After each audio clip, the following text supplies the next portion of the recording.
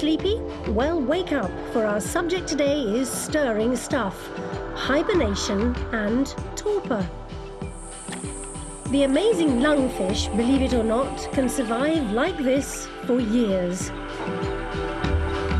And finding out what's going on during the big sleep requires quite a bit of ingenuity.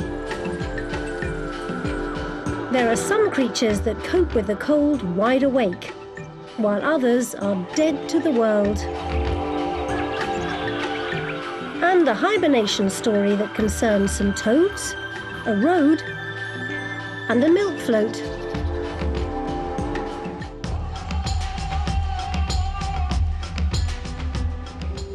Let's start in a European forest, in the depths of winter.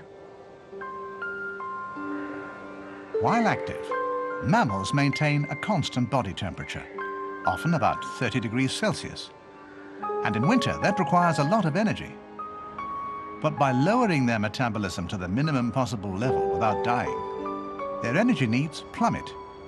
And so small mammals, like this birch mouse, can survive ice and snow for months on end. Another true hibernator is the hedgehog. Its heartbeat falls from 190 beats a minute to 20, and its body temperature drops from 35 degrees to 10. An Arctic squirrel can drop its temperature to minus 3 degrees. But larger animals can't do this. If they did, they wouldn't have the energy to raise it again, and they'd never wake up. So many black bears spend their winters in a state of dormancy, a kind of shallow hibernation.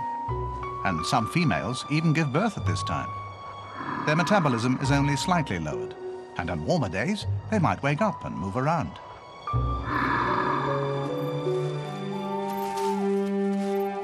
Badgers, on the other hand, don't hibernate at all. They respond to cold weather by going into torpor for the hours they'd normally be asleep. Their metabolism drops right down, like hibernation, but for a much shorter time.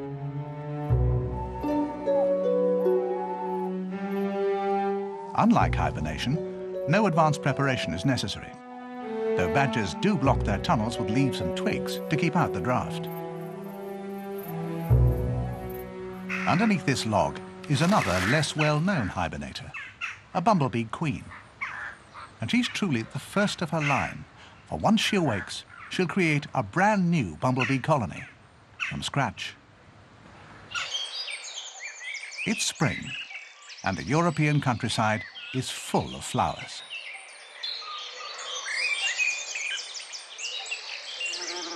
The newly awakened queen visits them in turn, collecting nectar and pollen.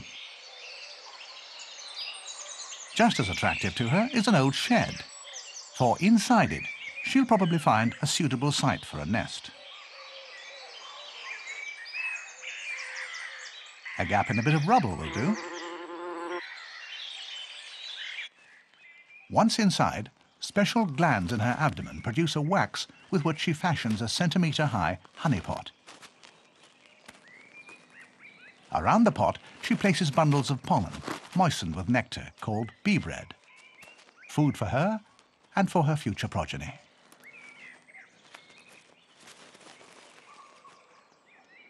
And on some of the bee bread bundles, she lays up to eight fertilized eggs. Which, after three days, hatch out into larvae. Their food is right at their feet, and after a week of gorging themselves, the larvae spin a cocoon in which to pupate. Twelve days later, the new bumblebee generation emerges. Silvery for the first few days, these all-female workers now take over the running of the nest. While the queen stays at home, they go looking for food.